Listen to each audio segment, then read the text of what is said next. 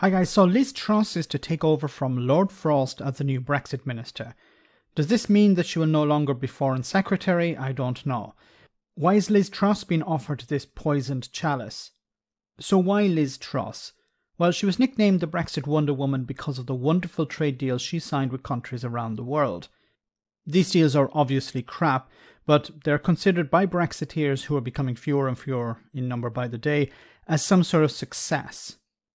Truss, like Lord Frost, was somebody who used to be a Remainer. Now, while Frost wasn't as vocal about staying in the EU, Liz Truss was part of a campaign to keep Britain in Europe. Following the referendum, she became a Brexiteer to further her political career. I've asked this question of her before. What did she truly believe?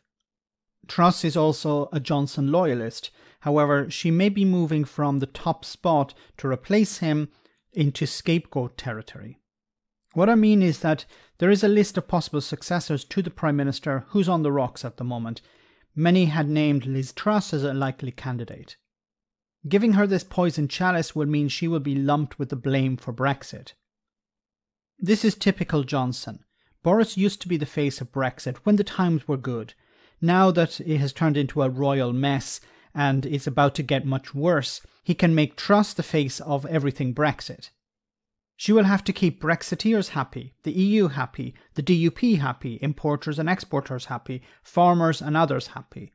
But she will fail because Brexit is a failure. Johnson is washing his hands of the situation, and short of giving it to Sunak, he gave it to the most likely person to challenge him. Now, does Liz Truss bring anything to the table apart from bravado over trade deals? Well, not really. I don't know if she understands Northern Ireland, the Good Friday Agreement, or the Northern Ireland Protocol? Does she understand the harm that Brexit is doing and it's been mitigated by the protocol?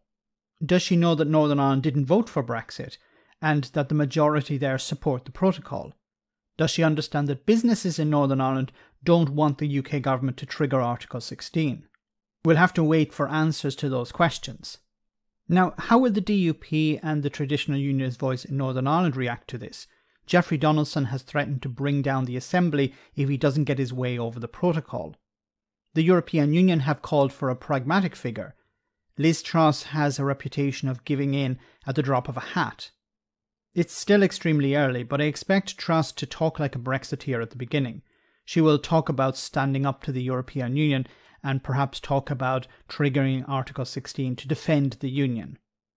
Lord Frost was a fraud, and so is she, but Frost was more careful with his language. Truss doesn't seem intelligent enough to avoid stupid mistakes. She will also be under greater scrutiny than Frost ever was. She will have to answer questions, tough ones from the media, and I don't see that going very well.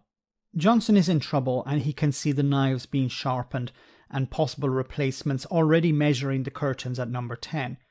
But by making Truss responsible for the disaster of Brexit, he may have defanged one of his biggest threats. Let me know what you think of the Liz Truss appointment. Thanks a lot.